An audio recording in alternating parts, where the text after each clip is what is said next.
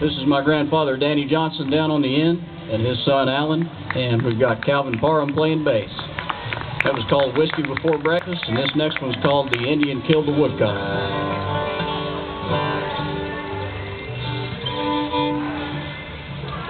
One, two, three, four.